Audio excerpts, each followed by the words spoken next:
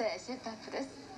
12月に入りますともうパーティーシーズンクリスマスのシーズンですね。1月になりますとお着物を着ていろいろお正月また成人式というような感じでいろいろとお出かけのシーズンなんですけれども先週はお出かけの時のメイクをご紹介いたしました。今週はお出かけの時またパーティーなんかに出席する時のヘアの方をご紹介したいと思います。大石啓二さんでいらっしゃるよろしくお願いいたします。ありがとうございますあのやはりお出かけになりますとね普段とやっぱりちょっと違ったようなあの頭に部屋にしたりっていうのに皆さんあのよく美容院に行かれると思うんですけれどもあの12月1月ってなりますとやはりお出かけ。そうしますとどうしても調和という点で、えー、ヘアも何かいつもと違った、えー、スタイルにですね、えー、してみたくなるんようですけど、えー、実際はそのことがかえってそのもう全てその全く変身しすぎて、えー、自分でないような感じになってですね。で現在のあのタウンヘアっていうのは結構あのいい髪皆さんしてらっしゃいますんでね、はい、それを少し、えー、アレンジして、はい、えー、まあ長い髪でしたらあ少しまとめるとかねじるとか編むとかですね最近だと、ね、あるいは、えー、片方の耳を出す出してイヤリングつけるとか、あるいは前髪が重い時には、えー、前髪少し残してあと、まとめてしまうとかですね、まあ、そういうそのほんの少しのアレンジで華やかさっていうのは十分に出るんじゃないか。のモデルさんは、はい、えー、普通まあ、ボブカットにして、えー、パームドヘア、まあ、洗いっぱなしのちょっとっぱなしのヘアなんですけど、えー、まあ、そのままではなかなか調和やはり取れにくいんで、はい、えー、前髪だけ少しカールをつけてですね、これ自分でもできると思うんですけど、まあ、それで、えー、全体の華やかさを、えー、出しています。小西さんも普段ねあのー、そうですね。お勤めの方でももう別に、はいという感じですね、はい、普段のままの感じみたいですね。そうですね。これで十分にメイクして、えー、服装の方ドレスアップすると。次のモデルさんは、えー、一番流行ってるそのサーファーカットですね、はい、サーファースタイルで、えー、カーリーヘアにして普通はしてるんですけど、はい、まあ、ドレスアップということで後ろの方を、まあ、1箇所でキュッとこうまとめてるだけなんです、はい、でそれでもう十分なそのやはり華やかさっていうのがね出てね。お分かりになると思いますけど、えー、これで下ろしてしまうとそのまままた全然違った感じのですね形が出ますし、えー、最近はパーティーの掛け持ちなんていうのもよくありますからね。ちょっと後ろの方その綺麗にアップしてるところちょっと見せていただきますか？あもう次に行きましたか？隣の、うん、モデルさんはまだ短い、えー、ベリーショートっていうショートヘアなんですけど、はい、えー、最近こういうふうにこのディップローションつけて、えーまあ、濡れたような髪をですね、えー、これも一つの流行としてのあのこれももちろんタウンでそのままでもいけるわけですけど、通パサパサっとしてる髪にこういう濡れたような感じで出すだけで、えー、綺麗にドレスアップしたあのトータル的にですねい。い感じになると思います。今この濡れたような髪が流行ってますね。そうですね。ショートの方。が、はい、これピシッとさて次の方は。えー、この方は、はい、あカットとしてはダイアナカットっていうような、まあ、割と、えー、流行っているんですけど、はい、まあ、ショートカットですね。でごくも本当にごく普通の髪なんですけどまあ服装メイクに合わせていつもよりよちょっと見えるようにですね、はい、こういう形だけでまあ少々毛先にアイロンで、えー、華やかさっていうかその軽さっていうんですかね、えーはい、出してますけど。まあ、先ほどからも先生おっしゃってますけども、えー、あまりこう変えないような髪にするということが、ね、まあ鉄則なんですけれども年代別に見てね先生、はい、あの10代20代30代またご年配の方っていらっしゃるんですけども、はい、どうなんでしょう？どういうふうにこう心がけていればよろしいでしょうか？そうですね。10代はどうしても、えー、可愛くですね、えー、作りすぎないように、はい、これを第一に考えるべきでしょうね、はい。まあえー、20代30代ですね、はい、まあこの頃は30代ですともう20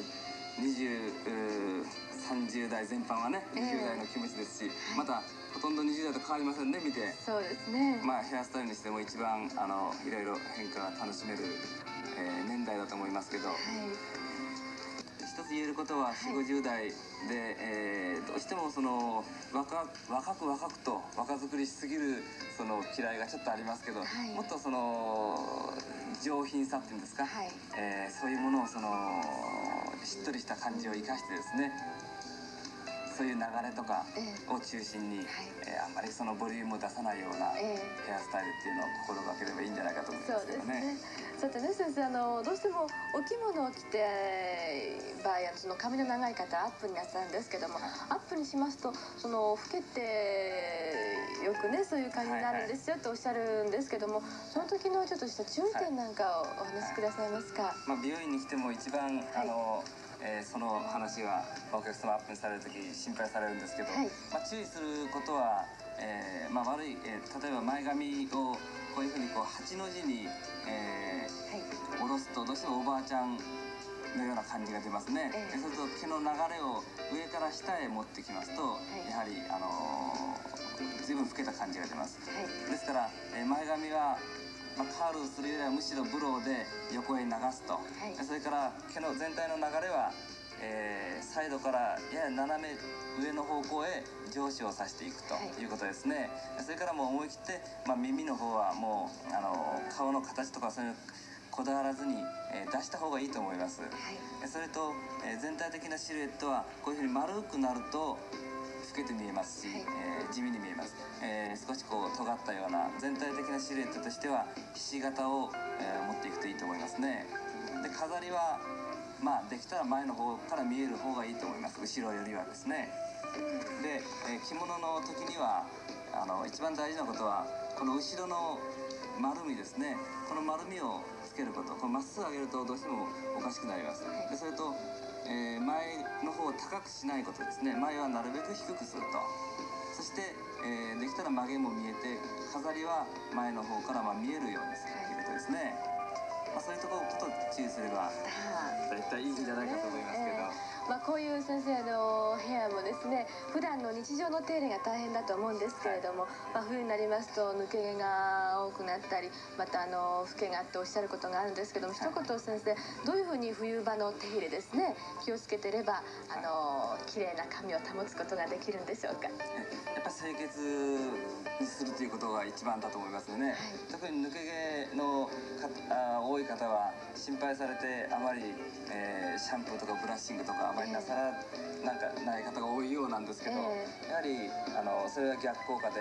えーシャンプーをお十分にして、それからトリートメントとかそういうものをその地肌にすり込んでですね、ええ。シャンプーした後よく頭をマッサージするとい。うようなあのことが大事だと思います。それから乾い乾かす時にあの温風とかですねそういうのでその、えーやたらに急激にその熱風でその乾かさないということも大事なことだと思いますね。はあはあやはりあの清潔に保しよくシャンプーするっていうことですね。そうですね。それ一番大事だと思います。あーですよねであの抜け毛を心配してブラッシングなさらないっていう方がいるけども、よくブラッシングする方がよろしいわけですねそうですね、まあ、ブラッシングっていうより僕はマッサージこう手でこうよく頭をねマッサージすることの方が大事だと思いますね。そうですか、はいで今日モデルさん来ていただきましたお洋服あの小札堂さんの提供でございました。えどうもモデルさんありがとうございました。先生のプレゼントもあるそうですね。今日はあのシャンプー、はい。中のシャンプーとリンスをですね、え5人の方ですね。はい、どうぞあのご覧になった先までおはがきをお寄せくださいませ。お待ちしております。シェイバー優しい光に抱かれて。セーブアップでございますクリスマスお正月が間近ですね。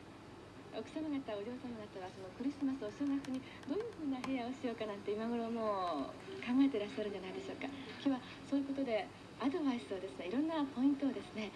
ヘアデザイナの大石さんにお話をお伺いいたします。どうぞよろしくお願いいたします。